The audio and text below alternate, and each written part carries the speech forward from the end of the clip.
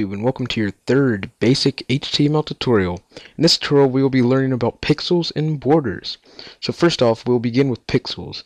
Now pixels are basically what makes up a web page. Imagine about 1,000 little bricks stacked on top of each other and, and side by side to fill up an area. That's about the same exact thing with pixels. With pixels we can measure we can measure, place, and see how big we want something to be. And by that I mean how much of the screen do we want this object to take up. For example, an image tag. So I'll go ahead and show you guys an image tag. Source equals, we can say test 1.jpg. We can go ahead and say style equals width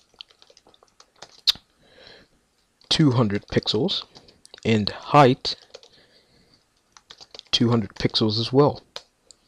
So, of course, with px, meaning pixels, we can also use a percentage of the screen. For example, we can also say 200% of the screen, or 200% of the screen in width. If that seems easier for you. And that's basically pixels for you. And I'll go ahead and show you guys an example of pixels if I can find my so here's basically pixels. This is a 30 by 30 um, tile sheet here, our pixel sheet, and each one of these little squares here is one pixel. So this here is one pixel, right here. This is imagine. Just think. This is. Oops. Just think. This is a 30 by 30 sheet here. So imagine what a 1000 by 1000 sheet would look like. So basically, that's what pixels are. Um, so yeah. Next, I'm going to tell you guys about borders. A border is basically something that surrounds the main part of something. For example, the United States border, you know, it surrounds the border. It surrounds the country. So with borders, we can basically make images, divs, and even more stuff look even better than they already are. Even better than they already look.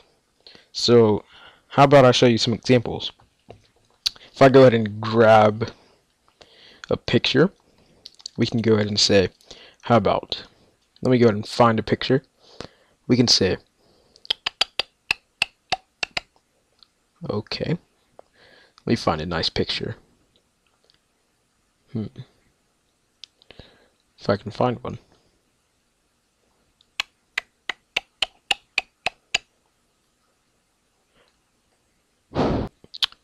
Okay, jumpstart should work. So we can say jumpstart. We can, if I can get there, we can say jumpstart dot png.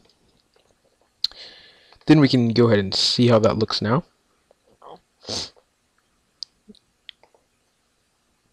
Refresh this. And and basically I forgot to change this back. By the way, guys, you know, hopefully you know, don't put 200%. I'm sorry, I was just showing you guys an example. But 200% is basically double the size of the screen. So we don't want to do that. So let's go ahead and refresh that. And you see here, there's a problem with it, of course. Probably because this here. If not, I'm not going to go into the detail.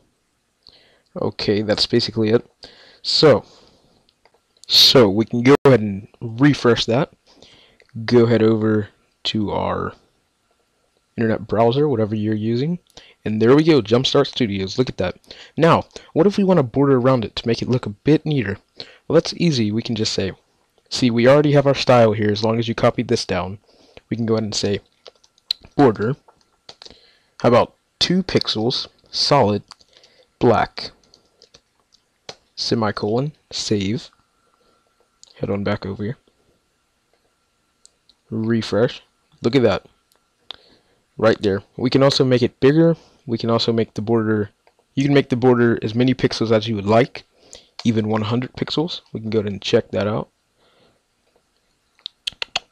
Look at that, beautiful, just beautiful, isn't it?